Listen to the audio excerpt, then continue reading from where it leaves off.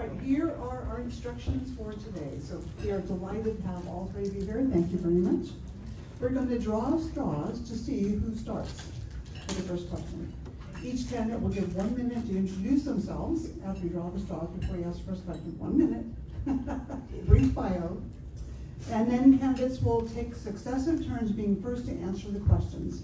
The winner of the draw goes first. Each candidate will be given a limit of one and a half minutes to answer the same question. A warning will be given at 30 seconds. And Lisa, you're going to give the warning. You have it. Mm-hmm. At thirty seconds. 30 seconds and, And then- stop. Thank you. There will be not be any rebuttals. Switch places? Close to the end, candidates will be given the opportunity to share closing remarks. There is a limit of two minutes on those closing remarks. No questions from the audience will be allowed. The audience may speak one-on-one to the candidates after the forum.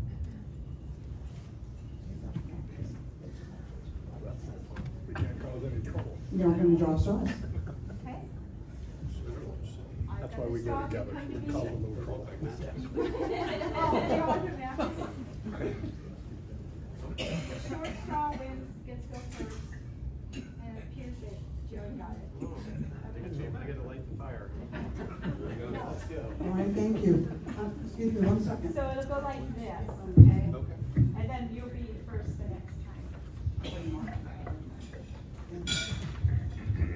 Ready to roll? All right, so it appears that Jerrod Sessler will go first. Are you ready for your first question? Are we on the introductions? Oh, I am sorry. Would you like to meet the?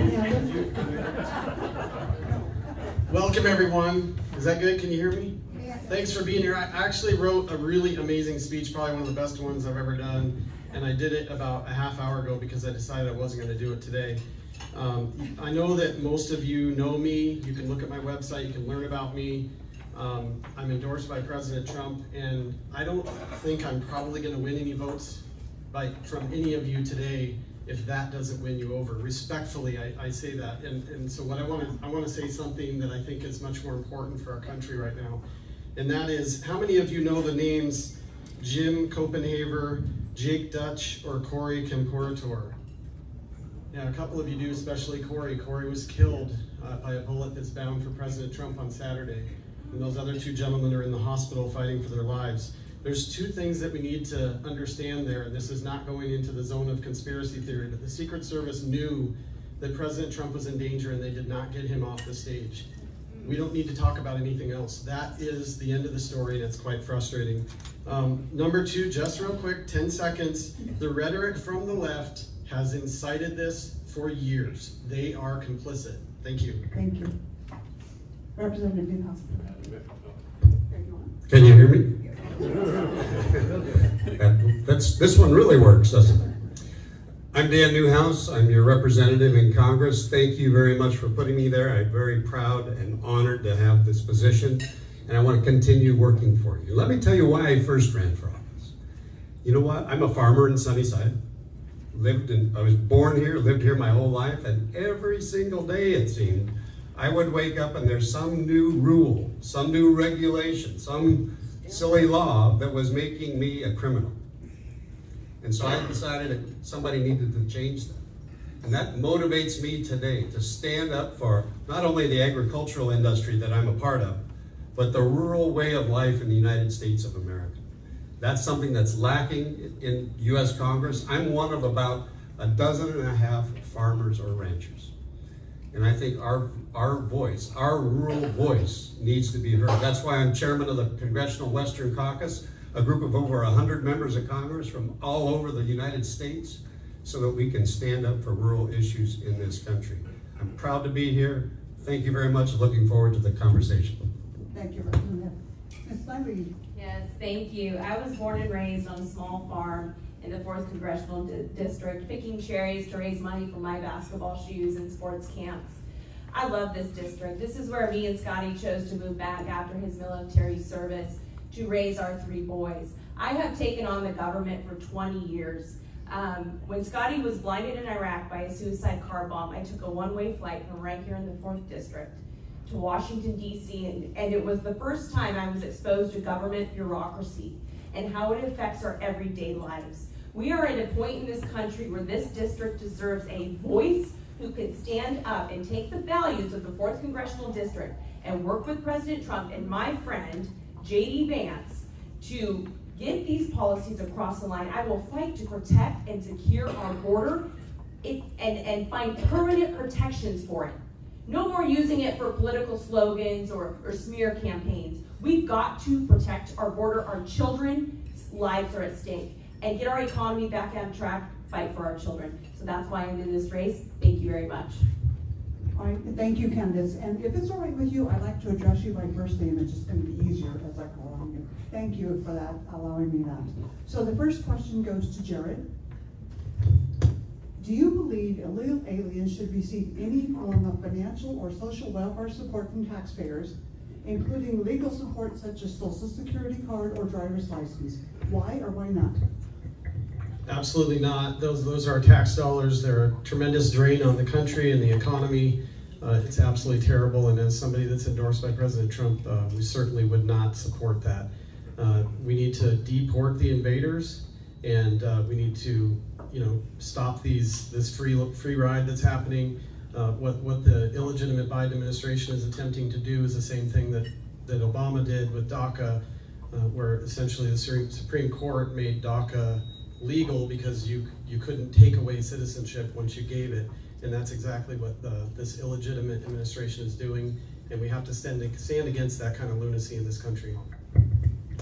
Thank you. If, if you would like me to repeat the question, then I'll let you do that. Okay, thank you. Uh, so Dan, do you believe illegal aliens should receive any form of financial or social welfare support from taxpayers, including legal support such as social security card or driver's license? Why or why not? So, Madam Mayor, this is one of the biggest reasons that there is a literally a blinking neon sign at our southern border that says open. We're a, attracting people to this country for the, just exactly what you're talking about. They're getting all of these benefits that people that have come legally through our country aren't even eligible to get. So the, the answer is no, we have to stop uh, attracting people here. We have to put policies in place that were there uh, in the last administration under President Trump.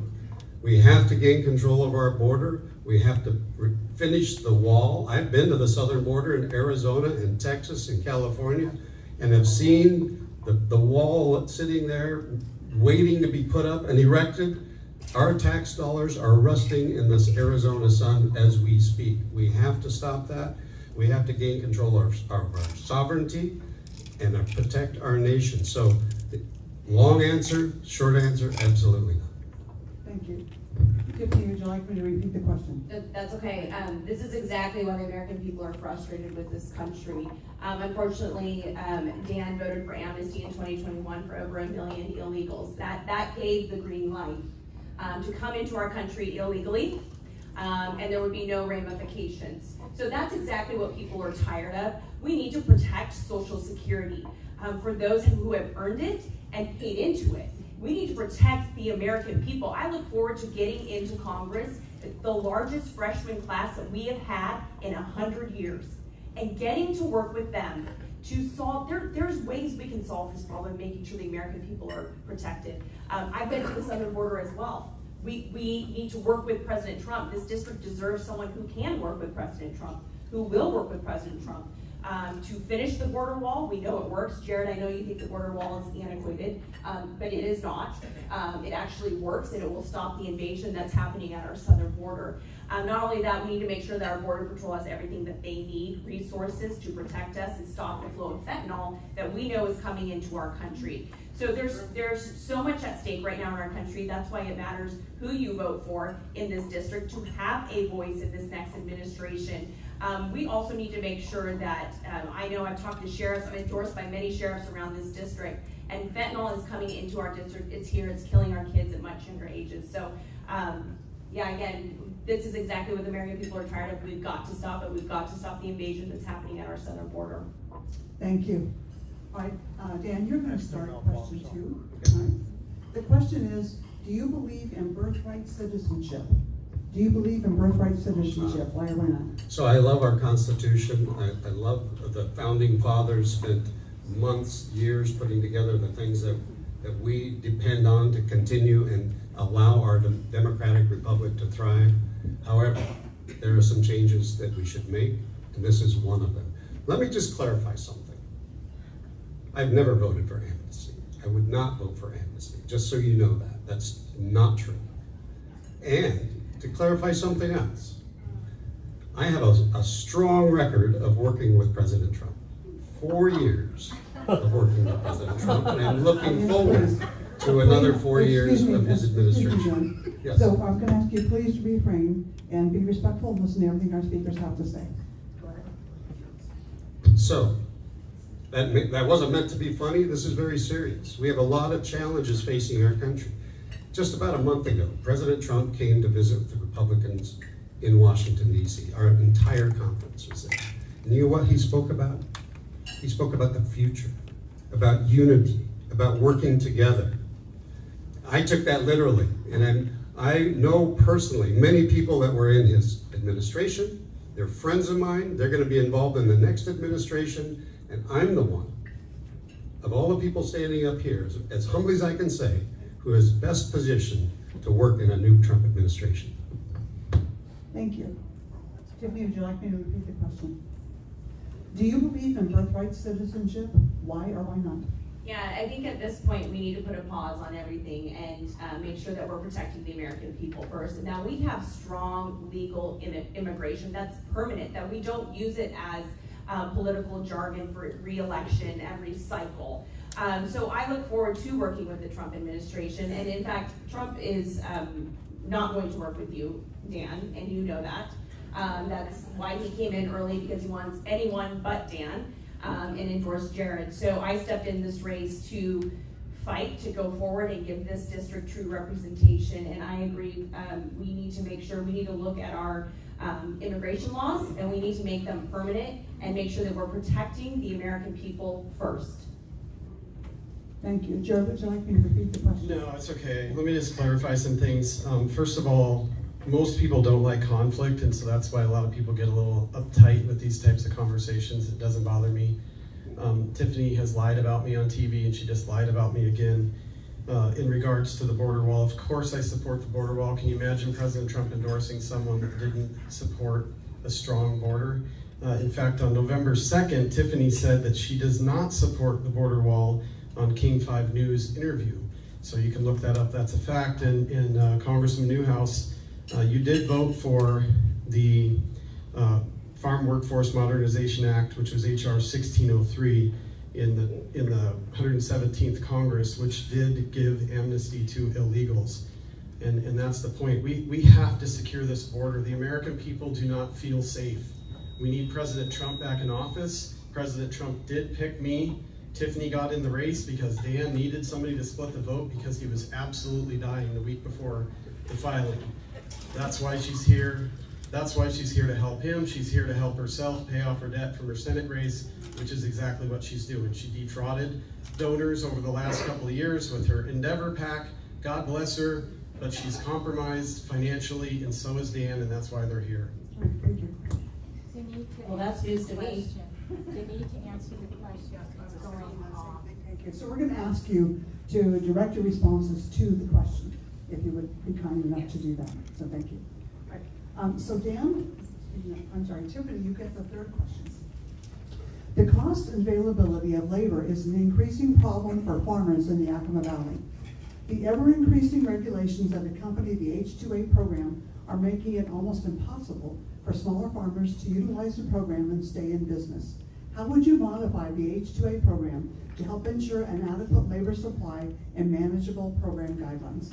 Yes, well, farmers, you know, don't work nine to five, Monday through Friday. Um, so a lot of these regulations don't fit our ag industry. In fact, I was just with a large um, far- farming operation, and they're having to get creative and jump through hoops and find ways to make it work for them. Um, our government is making it harder and harder for them to utilize H2A. And they're good workers, and the workers want to work. They're begging to work overtime. They're asking, can we work overtime? But farmers cannot keep up with the wage increase and then the overtime pay. So we need to make sure that we keep a robust um, amount of workers in this district for our ag industry, but then that we can also work hand in glove um, with the Trump administration as well to decrease some of these regulations and that, that become so burdensome for our farmers. Um, and, and they've made that clear as I've talked with them across the district. Um, and make sure that we, you know, have robust debate, bring it to the table that we protect our dams. Because if we lose our dams, these workers don't have jobs. And that's problematic, not just, we will lose billions of dollars in this district, not just for our farmers, but also for our workers. Thank you. I, uh, Jerrod, would you like me to repeat the question? No, I don't need that. All right. So the big problem here, and, and this is one of those questions where I doubt any of us up here are probably going to disagree because we're all very familiar with the farm industry. The challenge is, as I see it, one of, in specific to the H2A program, and there, there are definitely some, some specific things that we need to change uh, in regards to that.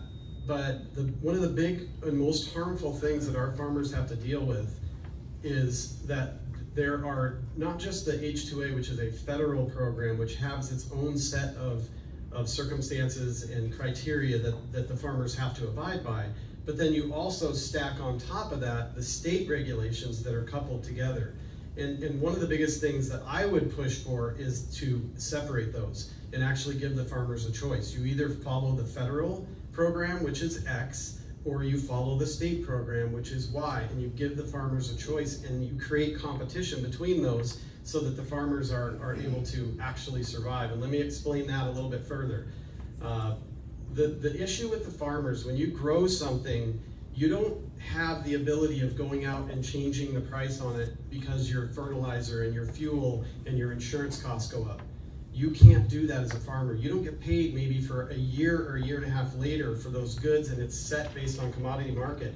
So farmers are in a much more difficult situation financially and I think everybody needs to understand that. Thank you. Dan, would you like me to repeat the question? Why don't you? Yes. The cost and availability of labor is an increasing problem for farmers in the Yakima Valley. The ever-increasing regulations that accompany the H2A program are making it almost impossible for smaller farmers to utilize the program and stay in business. How would you modify the H2A program to help ensure adequate labor supply and manageable program guidelines? Thank you, Ms. Madam Mayor. Well, As I said, I'm a farmer in the Yakima Valley. And you know what one of my biggest priorities in Congress is? The ag labor rules and laws that we have to abide by. I, do you know when the last time major immigration reform was passed by the House of Representatives? Before the last couple of years was 1986. Until my legislation, which has been referred to, the Farm Workforce Modernization Act, has passed the floor of the House twice, which reforms the H-2A program, allowing farmers to have a legal, certain supply of workers for our important agricultural industry. It needs fixing. It's too slow, it's too expensive, it doesn't work for small farmers. We have to have changes. If you talk to any farmer in central Washington or throughout the country that has similar crops that we do, their number one issue, water probably, labor is gonna be right at the top. This is something that I actually wrote this bill that I've been criticized for. It does not provide amnesty.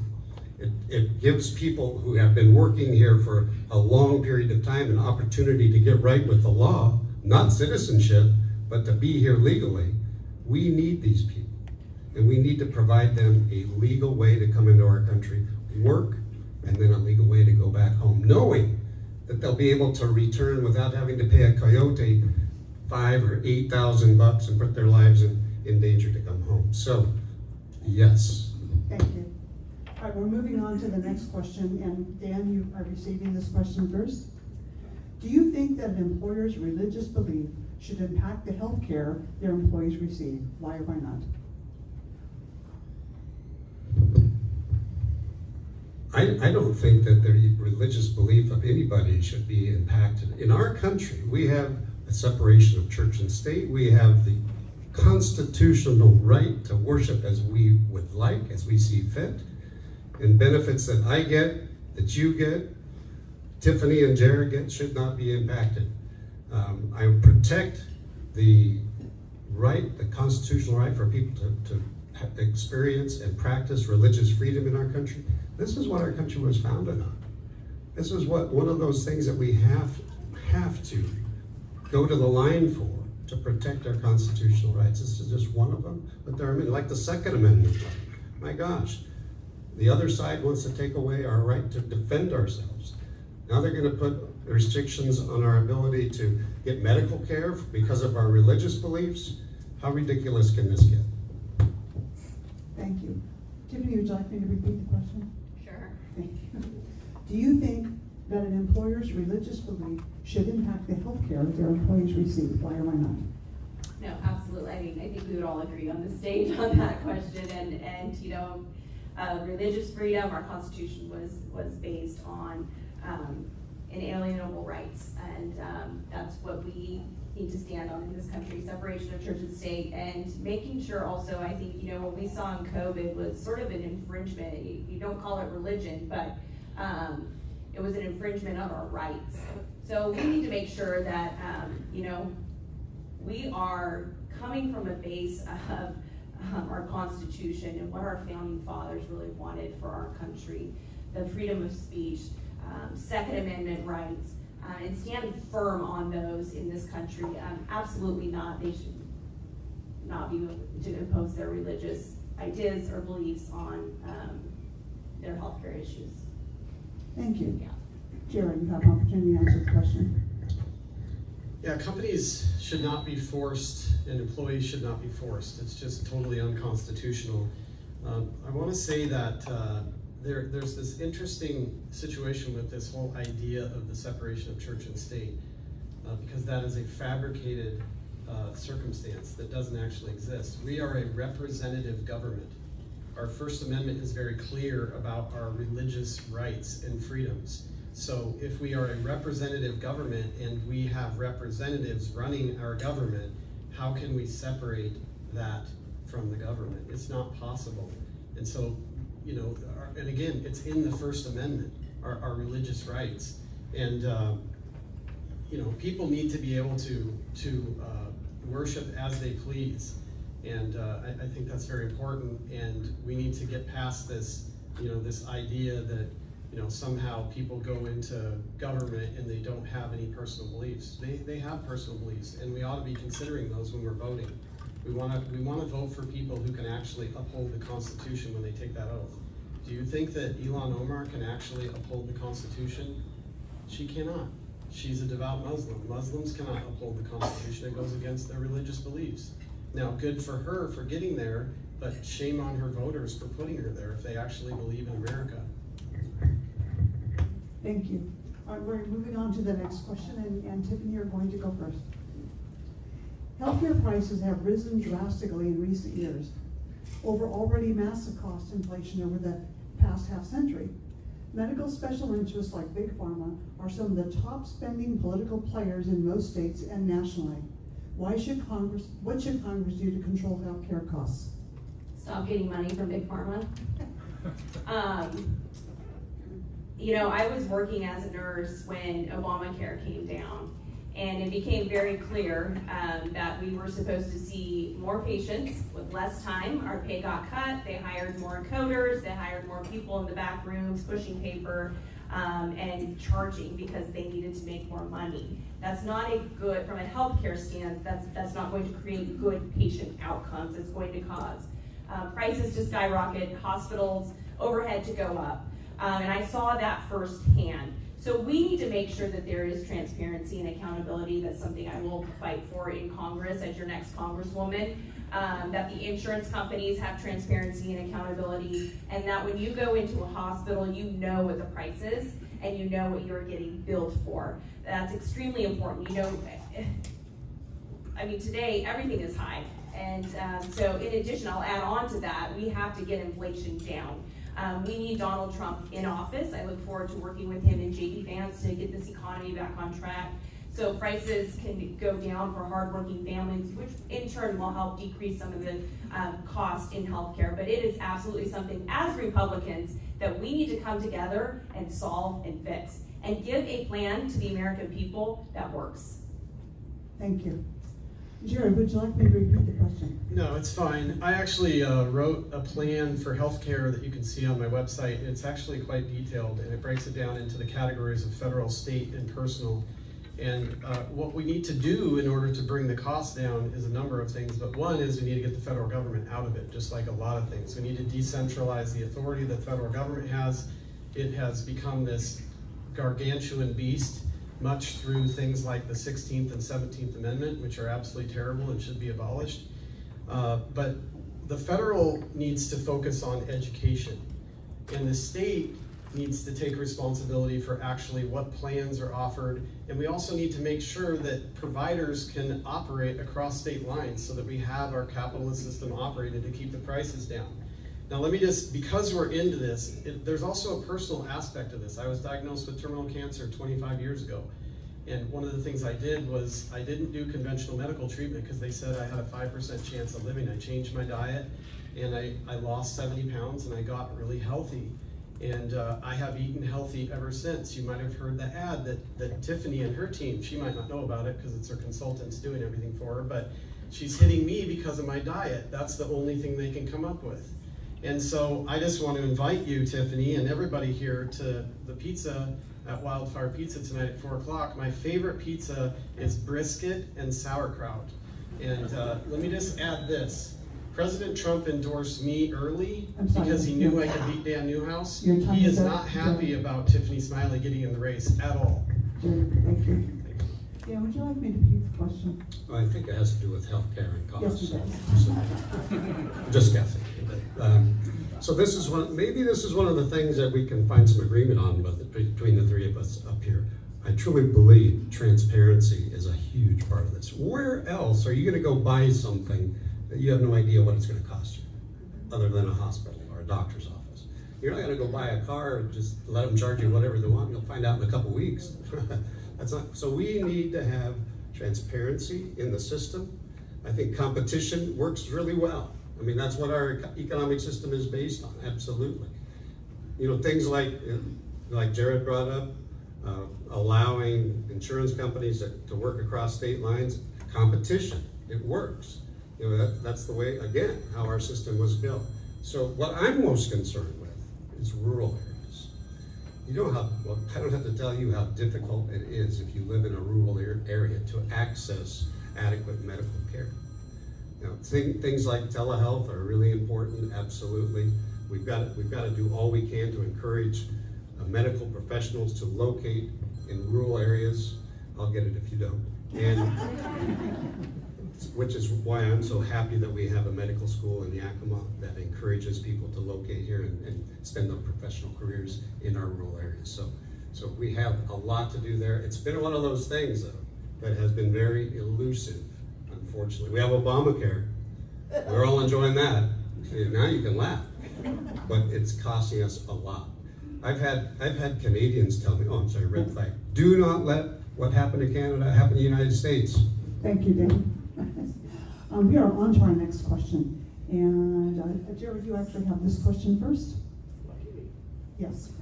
Many people mistrust the security of our elections.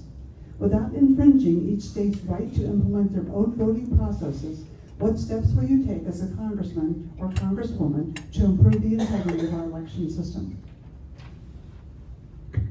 Yeah, it's a good question. We do need to bring integrity back, especially in this state. And I'll tell you that uh, I'm, I'm not, I probably shouldn't say this, but I'm not really wildly confident about most of the statewide races for us this year because of all the corruption that happens in Washington state.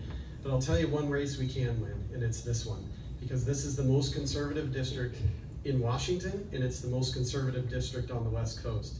And we need to take this district and put a ultra-conservative, passionate, hardworking man who's been in business for over 30 years, who's led hundreds of companies, hundreds of locations, and thousands of employees. And I, I can tell you, without articulating it here now, but I have a plan for how we can take Washington State back. And it's not actually all that difficult, but what it involves is us here in Eastern Washington stopping at complaining about Western Washington and starting to go on offense against Western Washington, and I have a plan to do that. We need to have in-person voting, same-day voting, make it a holiday if you need to, check IDs, vote by precinct, get together in your garage or a local school or whatever it is, count the votes together that night, let's do it. It's very easy, and I can't imagine why we've allowed all these computer systems in foreign countries and all these other things into our system, not to mention the crazy corrupted voter rolls here in Washington state. So that's what we need to do, and I'll help us get there. Thank you. Dan, would you like me to repeat the question? Sure, for the audience, for the audience benefit. Many people mistrust the security of our elections. Without infringing each state's right to implement their own voting processes, what steps will you take as a congressman or congresswoman to improve the integrity of our election system? So thank you. House Republicans in Washington DC have actually passed very, very important legislation in order to restore the confidence and integrity of our election system in this country. You know, one of the one of the things that we cannot get the other side to agree to, proving who you are when you go to vote. In a lot of states, you can just walk up, vote. We've got, you know, so many people. You, you can't you can't buy beer in the grocery store. I even I get carded. Amazing. Um, you used to not be able to, to rent a movie without providing ID. People have the ability to prove who they are, and we've got, we've got to put that requirement on something as sacred as voting. Without that, there can't be integrity in the system. You can't have a, a motor voter law that signs people up automatically. We have to have integrity, and that, that means proving who you are at the time of voting. Uh, we've got some work to do on this, and this is one of the things that I think is the most crucial thing in our country as it relates to elections. If we don't have faith in our system, what have we got? What have we got? And so taking some of these simple steps are absolutely necessary. Thank you. Tiffany, would you like me to repeat the question? Yes, no, I'm good. Um, you know, this is, as um, I have traveled all over this country and this state, this is an issue. Voters do not believe that their votes count or that they matter. They know, they feel like we have a government, we have career politicians who do not deliver results for them, so why vote?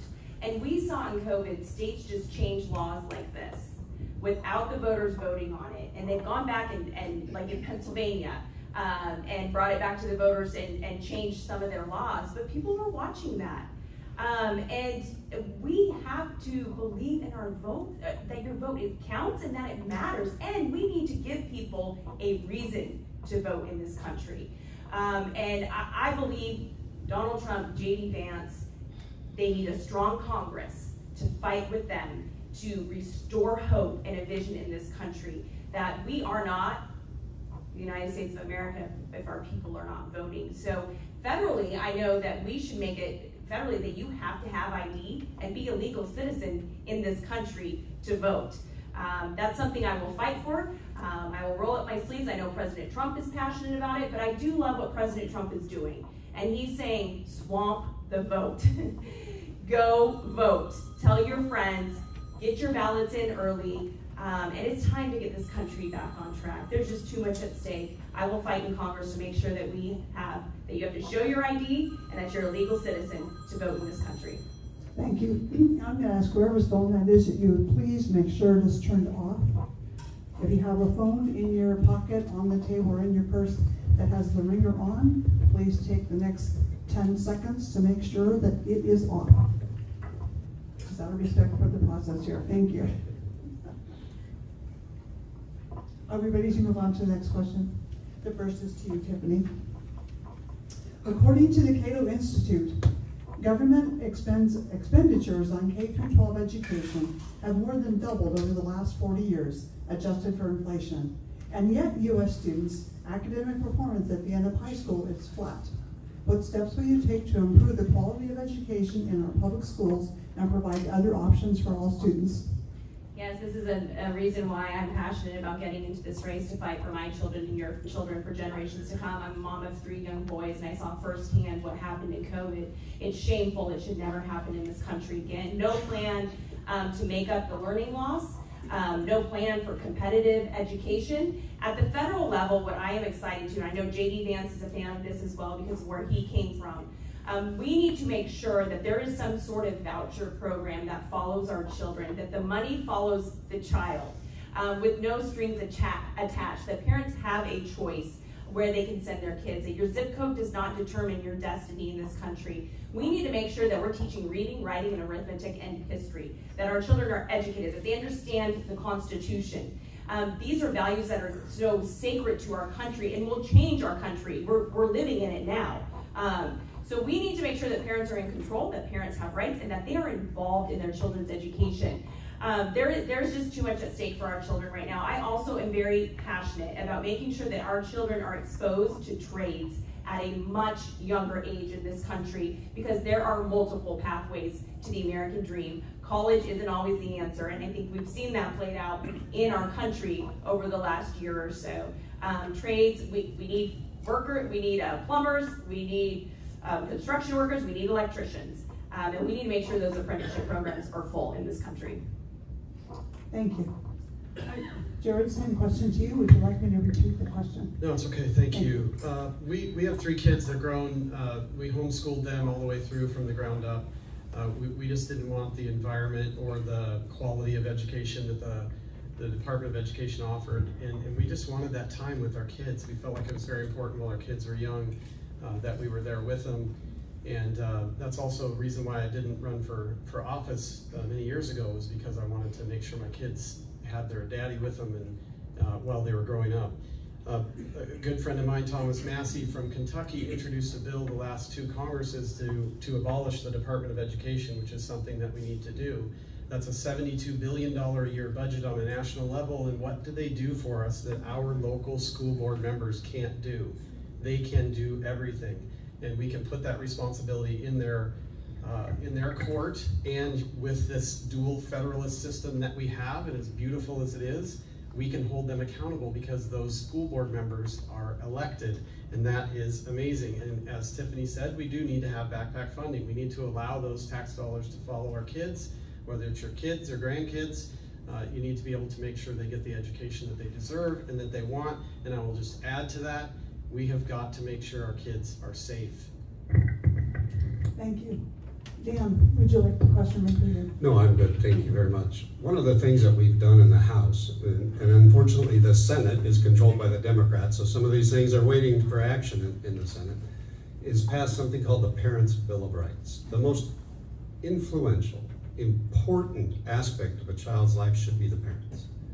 And that's that one of the things that we learned in COVID during that crisis that I hope we never have to repeat is that parents were looking over the, their students' shoulders on their computers and seeing what their curriculum in, included, what some of the things that they were learning. And so that uh, offered tremendous uh, uh, transparency to our educational system. And parents woke up to the fact that, wow, this is not going the direction we need to go. So I, I agree with my opponents on some of these things, absolutely. We have to have options for parents to choose from whether it's charter schools, whether it's homeschooling, and bless Jerrod for doing that. These are the things that have to have to be available, and the money has to be there for them in order to be able to make it successful. So I'm I'm all for the accountability and the results, and I'll take it even a step further.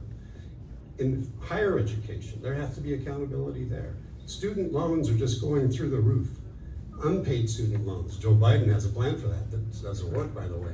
However, schools have to have a responsibility there too. If the return on the investment for the sky high loans that those students are taking out is not there, there should be some accountability to the schools too. Thank you. Excuse me, I think, um, Tiffany, you've had an opportunity to answer the same question, okay. Then we're moving on, uh, and Jerrod, you will answer this question first. The Biden EPA is demanding that states shut down reliable, low-cost energy despite the outages that have already been caused. What is your plan to provide citizens with the reliable, locally controlled, and low-cost energy necessary for uh, to to fuel economic growth and widespread prosperity? Let me just uh, quote my mentor: "Drill, baby, drill." We have to get the energy production going in this country again. We need to start drilling. We need to get the Keystone pipeline going. We need to get the Atlantic Coast pipeline that was shut down by this uh, Joe Obama administration. That's a gas, natural gas pipeline. We need to stand against this absolute utter lunacy that somehow put natural gas in the crosshairs. Even coal power is good for us in America and in the world. The problems that we had with coal in the past were getting it out of the ground in a, in a safe manner, which we've solved, and cleaning the exhaust where it's burned, which we've also solved. This area is has an abundance of, uh, of incredibly inexpensive energy uh, through the dams and nuclear energy, which we champion here, which I hope we get to talk about the dams more. Uh, but if you go back to the 40s, there was a gentleman named Leland Olds who was the energy director, and he was ousted by Lyndon Baines Johnson because he knew that inexpensive energy led to human flourishing. And we need to remember that in America and throughout the world because uh, we cannot survive without inexpensive energy. And if there's one thing that has driven our economy in the wrong direction over the last few years, it's the cost of energy. Thank you. Dan, would you like me to repeat the question? For the audience benefit, I think so. Okay, thank you. The Biden EPA is demanding that states shut down reliable, low-cost energy despite the outages that have already been caused. What is your plan to, to provide citizens with the reliable, locally controlled, and low-cost energy necessary to fuel economic growth and widespread prosperity? So you all know that before Joe Biden took office, we were energy dominant. We exported energy. Now we're energy reliant on foreign sources that uh, a lot, a lot of times are not our friends or allies. We have the solution to our energy needs literally right under our feet. I'm an all of the above, you know what that means, energy kind of guy. We need them all. I've got nothing against wind and solar in the right places, but we need natural gas, we need fossil fuels, we need all of those things. We need nuclear. And I'm glad Jerrod brought up the dams. We need hydropower. Did you know that in the next decade, we're anticipated to grow in this state of Washington, unless Jay Inslee chases everybody away? We're in, we're supposed to grow by a million people. Already, just last winter, we were within 20 minutes of a brownout because of, of our ability to produce enough energy when it's cold. And the heat of the day is the same, same story. We need more sources of energy. We need them all. We can do it responsibly.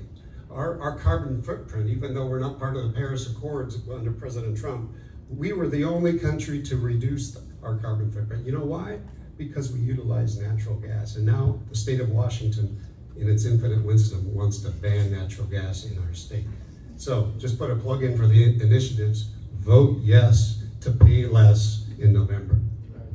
Thank you, Dan. I, um, same question to you, Tiffany? Yes, um, you know, this is such, I, I was just in Okanogan, um, County talking with those residents, and the EPA is destroying our small communities, um, forcing out their logging, and, and we know that loggers manage the forest best and cut down on forest fires. When you think of the pollution that goes on with our forest fires every year, in regards to the dams, that is where we have the safest, most reliable, um, energy right here in our fourth congressional district. And we've never been at a more scary place of having them breached. So I just want to say, you know, if Dan has been our protection on the dams, we need a new protector.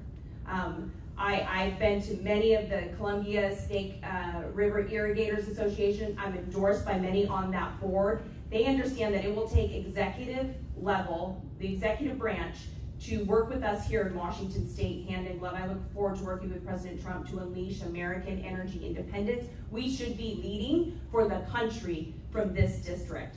Small nuclear reactors are the way of the future. They're safe, they're reliable, um, and they're powerful. China, Russia should be buying energy from us, and we should be leading from right here in Washington State. I know the executive branch will work with, hand in hand with me to make sure that we deliver for you guys in this in this district. Thank you. All right, we're going on to another question, and uh, Jerrod, you are going to, oh, excuse me, Dan, sorry. You are going to receive the question first. Do you support federal funding for long-term shelters, job training, and trauma-informed services for victims of human trafficking? Why or why not?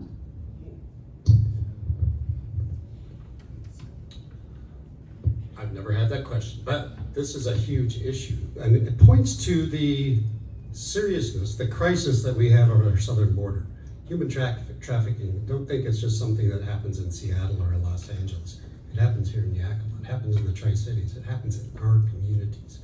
Whatever we can do to stop this terrible, terrible practice, we have to. And if it means uh, giving assistance and help to those usually young ladies that are that are being uh, uh, victims of this of this crime, then I think we should do what we can to help them. Absolutely. But, but the crux of the issue is that to stop the criminal activity to begin with, there can be no should be no tolerance for this kind of thing. Uh, and you know, I don't want to victim or, or say that everybody coming across the southern border are, are future criminal, criminals. They're not. But the fact of the matter is, when you have zero control over what's happening on the on the border, you don't know. I don't know if you or you or you, if you have nefarious ideas or you have good intentions when you come into our country. So it comes back to enforcing the laws we have, having control over who comes to our country, and, and enforcing the laws in our cities and towns against human trafficking. This is this is a scourge on our society. It's something that we have to stop. And, and so I, my reaction is, if those victims need help, we should step up to help. Thank you. Tiffany, same question to you. Yes, as a woman, we should absolutely step up and help those victims. And it's a problem here in this country. You know how we solve it? Secure our border now and stop the flow of criminals coming in and human trafficking women, children. Um, when I was down at the southern border, I met with a farmer and he took me over. He said, Here's the rape tree. This is where they bring women, young kids, rape them, and then take them to safe houses all over this country, right here in Yakima. Our sheriffs need to know that they are supported, that they are funded, that they have every resource that they need to, to track these criminals down and protect and secure women and children in this country. I mean, but we, we have to do it by securing the border first. We know that the border wall will work. I look forward to working with Donald Trump to build the wall, to stop the invasion that's, that's happening and stop these crimes from happening. Thank you. Jerrod, same question to you. Yeah, thank you. I'm not going to expand the question, but I do agree we need to secure the border. Uh, I totally disagree with them. I, I'm not a big government guy, as obviously they are. And Dan Newhouse has proven that by his time in office because, uh, and I've asked you this before, Dan, but I don't think there's ever been a spending bill that crossed his desk that he did not sign. And of course, he would sign for this. This is not a federal issue. This is a state issue. Yes, it's the federal government's responsibility. Read the Declaration of Independence. Read the Constitution. Read the 10th Amendment. This is a state issue. But there is no question about this. This is the reason. Their answers are the reason why we're in the financial problem we are right now. Because the answer is always yes to spending. And it's not right. If we don't curtail the spending on a federal level, we are never going to get our economy under control. We are spending a billion dollars, a trillion dollars every hundred days more than we have. That means we're getting the credit card out and swiping it for a trillion dollars every single hundred days. Now, it doesn't mean that I support this trafficking. Of course not. It is absolutely wrong. But we are not Big Brother. We are not God. The federal government is supposed to be limited. The most power is supposed to be held in the states. That is the way our system is designed. Thank you. All right. Um, I'm looking at my, list of questions, I apologize. Right, uh, actually, the Jerrod, you're starting this next round, okay? Do you believe states should have sanctuary status? Why or why not? That question is ambiguous. I think what you mean to say is should states be allowed to create sanctuary status for people who are not a part of that state? Would that be a better way of saying it? I believe so. Okay. Yeah, no. I mean, again, look at look up the definition of dual federalism. Okay, we are we I'm fall. gonna ask you to hold your microphone. Okay, we it's just I don't want to blow you guys out. We fall underneath the authority of the federal government, and we fall underneath the authority of the state government, and uh, we we we can't circumvent them. This the states are supposed to be supposed to have the most authority, and. Uh, and so that yeah we, we can't allow the states to circumvent that but but again it, to me the problem is in that particular case it goes back to the 16th amendment The 16th Amendment is where the, the federal government was allowed to start taxing us directly out of our paychecks. It was never supposed to work that way. The money was supposed to flow through the states, and the states would pay to fund the federal government, whose primary responsibility was to keep us safe. And so to think in that way, it's like, okay, the states can kind of do whatever they want, but not if they're funded by the federal government. It's the, so the whole thing is sort of backwards and messed up. And so I, I would just ask for us to sort of zoom out on that and think bigger because that's not the answer. But I will note, I will note this. I am endorsed by the House Freedom Caucus, which makes up about 10% of Congress. And those members, some people say, I'll answer it more later. Thank you. Dan, same question to you. So wouldn't it be nice if we could pick and choose which laws we want to follow, right? And that's exactly what's happening in the sanctuary city, sanctuary state, uh, situations that we see across the country. And that, you guess what? That's coming back to bite some of those jurisdictions, right? Thanks to the governor Abbott of Texas and other individuals that are letting them share in the wealth with the crisis that they're experiencing, experiencing on the southern border. So, Patricia, the answer has got to be no. You cannot have certain parts of the country, certain states, certain jurisdictions that decide, eh, we're not going to follow that law because we think we know better. There's a system in place to change laws. You know, there's a lot of things I don't like about the law. That doesn't mean I, I, I don't follow it. All of us are that way. But we, we have a system in place to change. And that's what we should be following. That's what makes our country great. That's what separates us from many other countries around the world. And so, sanctuary cities, no, no way. Thank you. Tiffany, same question. Yeah, sanctuary cities, no way. I mean, we're seeing the destruction of it right before our eyes in our country, from New York to here in Washington State. I mean, we cannot house and take care of criminals. I mean, it, it's we're not protecting the American people. You know, I've talked to ICE agents who have said like we, our hands are tied, and that has to stop. We need to make sure that ICE agents have everything that they need to protect the American people. I know that will happen under Donald Trump's administration. I look forward to working with him on that as well. Thank you. All right, we are down to our last two questions. Dan, you have this one first. What is your strategy to get our hostages back from Hamas?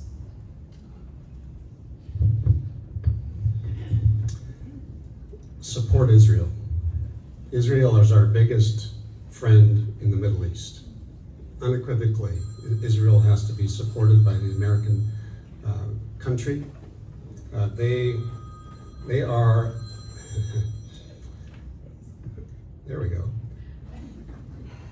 So the, the long and short of it is, our friend in the Middle East, who is one of our few friends, you know, we need to support 100%. Benjamin Netanyahu is coming to Washington, D.C. next week.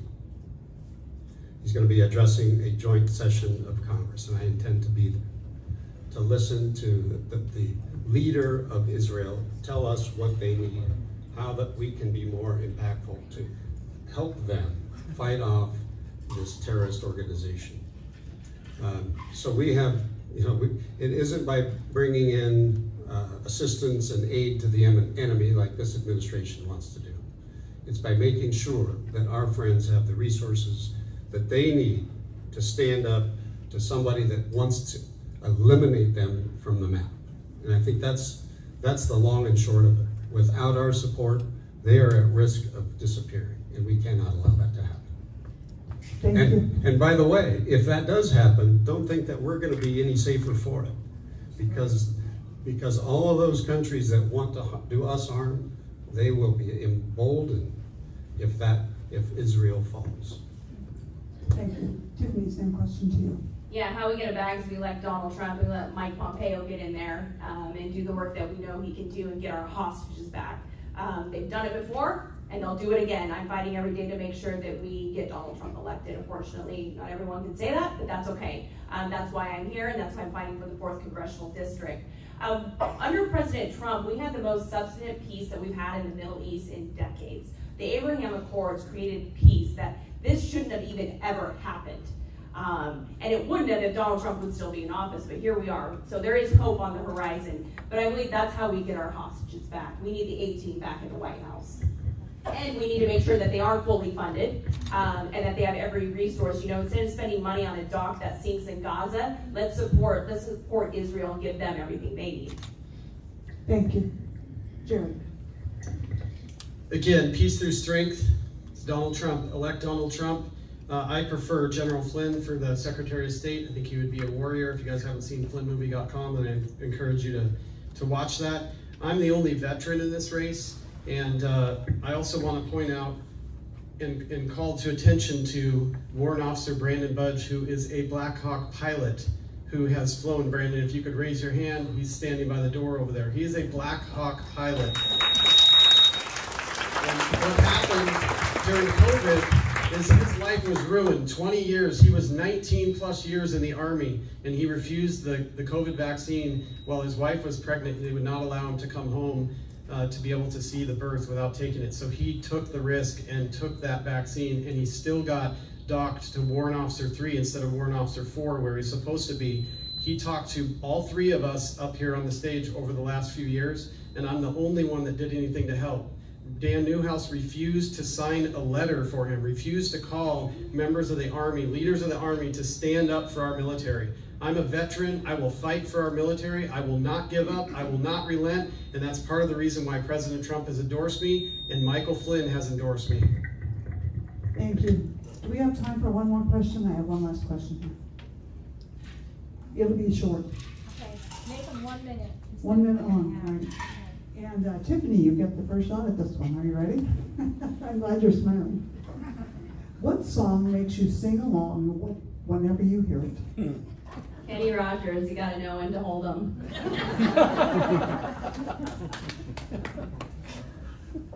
Jerrod, question to you. Oh my gosh, do we? Uh, so many come to mind. Uh, I guess for some reason, Eye of the Tiger by Survivor. I'm an 80s guy. 80s music rocks the house. There is no other music than 80s music. Thank you. Dan? So this is going to sound like I'm probably just playing to the crowd, but I just I just can't. Every time I hear um, the national anthem, and whether it's at a baseball game or somewhere in the Capitol or at an event, um, so I don't know how many of you watched parts of the convention last night. Oh my gosh, the stories that were told there, and, and the songs that were sung, that just. I hate to admit this, my wife teases me about this all the time, brought tears to my eyes. Thank you. I want to thank each of you personally for coming today, for sharing your hearts and your thoughts with us. Uh, well done. And uh, we are going to ask if you can stay for a while and meet with people individually. And I'm sorry, we probably will.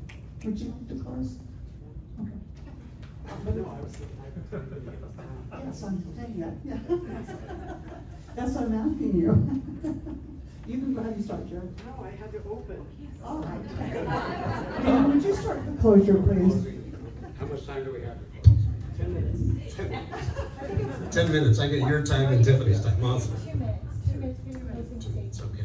Well, thank you very much for your attention today, and taking time out of your busy schedules to be with us today. I think, I think this is an important part of our democratic system. Like I said before, I am proud to be your representative in Washington DC. I've got the experience, and I, to speak as humbly as I possibly can, I've got the position, the seniority, the relationships. You know, politics is a people business. It really is. And I know I know a lot of the players in Washington D.C. And I'm particularly looking forward to the next Trump administration because you know what? Key individuals that were part of his team are personal friends. And I think that's going to make me very, very impactful and effective in, in dealing with them and solving some of the problems and the challenges that we have. My, my focus, my priority has been agriculture. Shoot me for that. I'm a farmer, so that's kind of what I see the world. But that's, that's an important part of our district, absolutely. I am a champion for the Snake River Dams. In fact, I just had a meeting last night, a public hearing, a meeting, not a hearing, at WSU Tri-Cities. A hundred people came out to express their fervent opinions about how much we need those dams and how much we would suffer without them. I've said this before and I'll say it again. Those dams won't come out while I'm in Congress, over my dead body. That, that's something that's a huge priority of mine. I'm on the Appropriations Committee, which is important in order to get spending down in this country, which you have to do. I'm in a good position to, to do that.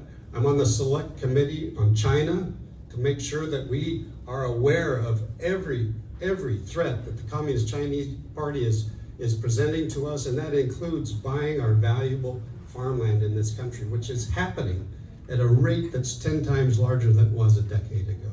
So many things that we have to solve in this country. I'm just honored to be your member of Congress, and I look forward to continue working as hard as I possibly can on your behalf in a new Trump administration. Thank you.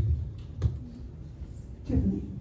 Yes, as I've traveled all over this district and talked to big businesses and small businesses, nurses, teachers, doctors, parents, it's clear they are very worried about our district and our ability to um, have our priorities heard.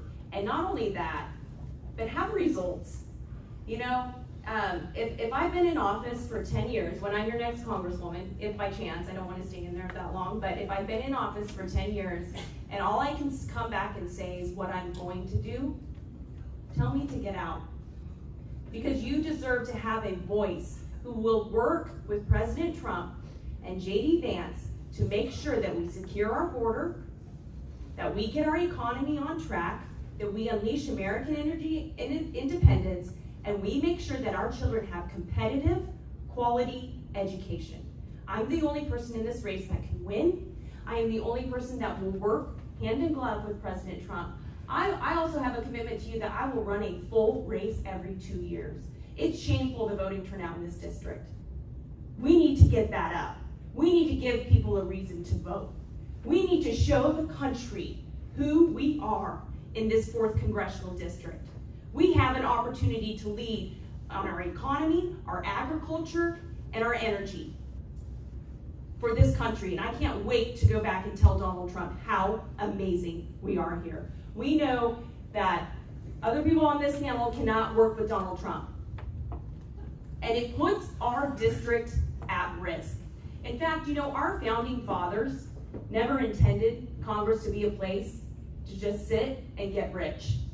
Yesterday, I signed the term limits pledge, and I have sheets here for, for Dan and Jerrod if you guys would like to sign it as well. I think this is important for our country, that we have tried and true people from the outside who aren't career politicians to go in, get the work done, and come back to their district. Thank you, Tiffany. Jerrod. Sign this. Whoops. Sign the term limits pledge, Tiffany. I'm not doing this to be something. I'm doing this to do something. And Dan, I'm glad you brought up the uh, the dams because you and I were on the stage on January 4th, and January 24th, your team came out with the Dam Act, which was basically my answer in that debate. Which I thought that was kind of interesting. Things can happen fast in DC if you give them some good ideas. Uh, but I didn't give you all the ideas. There's a, I only gave you one of eight points in that. So my DAM Act will actually be better, and I've got the relationships in Congress to be able to get co-sponsors to be able to make that thing happen. Uh, I want to I say uh, uh, just an incredible heartfelt thanks to my team. Uh, we've got over 1,400 volunteers across eight counties helping us. We have over 7,000 signs up. We're knocking thousands of doors every single week. If you'd like to get involved, we'd sure love to have you. Uh, I can tell you that I will not relent. Uh, I, I was a hard worker before, but having the weight and the honor of having President Trump's endorsement, I'm sleeping three or four hours a night. Last night it was less because one of our calves is sick and we're trying to save her life. And so I was up working on that. But um, it would be an utter disservice to the American people if you did not elect Jerrod Sessler for this seat. Uh, reminder tonight, Wildfire Pizza will be there at 4 o'clock. Love to have you, and we'll leave you with this. Don't be cynical about America. Be cynical about public leaders that refuse to do the job we elect them to. If you want to take part in the American dream, then you need to understand that it is an equation that involves opportunity and an abundance of hard work. Without those two together, you will never experience the American dream. Not because you can't be rich in some other way, uh, but because inheriting success will never feel as great as the success that you worked for. I'm Jerrod Sessler. Thank you for being here. God bless you. It's an incredible honor to be here, and I look forward to being your next congressman.